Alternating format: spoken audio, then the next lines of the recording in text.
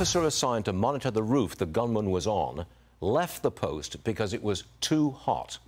Former CIA station chief uh, Dan Hoffman joins me now. Dan, how could this happen? Well, first, I just think it's important to uh, to vet what whistleblowers are, are coming forth with. So that information yep. might be true, it might not be true. I've been involved in lots of investigations over the course of my career.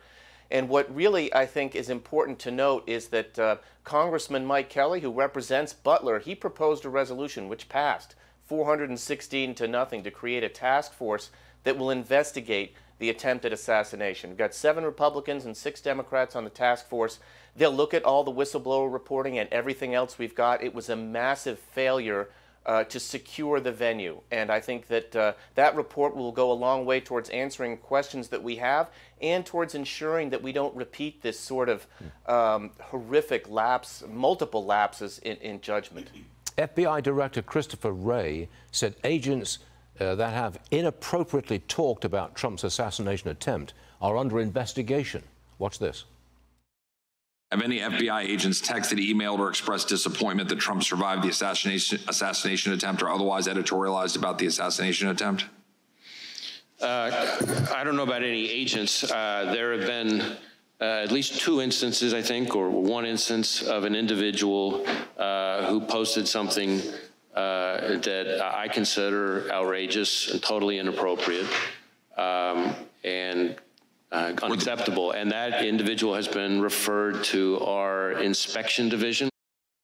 Uh, Dan, surely that agent should be fired if indeed the agent put something out of that nature. Yeah, I'm sure there'll be serious disciplinary action there. Look, FBI agents, CIA officers are, are, are nonpartisan. They serve, they take an oath to uphold and defend the Constitution of the United States of America. Uh, they're not uh, rooting for one side or the other, just trying to do their job. And that sort of incident, um, it's it's one that would cause, I think, the public to, to really grave concern. Not to mention uh, former President Trump. So uh, I'm sure the FBI will get to the bottom of it, and I'm sure the task force will take a look at that and, and other associated issues with the attempted assassination.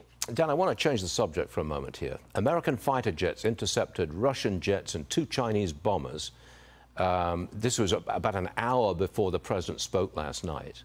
And I believe that these planes were flying in formation, which we've not seen before, towards the coast of Alaska. You were with the CIA. You know what this is all about. What do you make of this incident? And uh, is it a test of our weak and aging president? I think it's it's a number of things at the same time. First, they were absolutely aware that, that President Biden was about to give only his fourth uh, his fourth speech from from behind the resolute desk, and so they wanted to take the news and own the news, own the narrative themselves, and make it appear to their own population uh, that they can go toe to toe with the United States.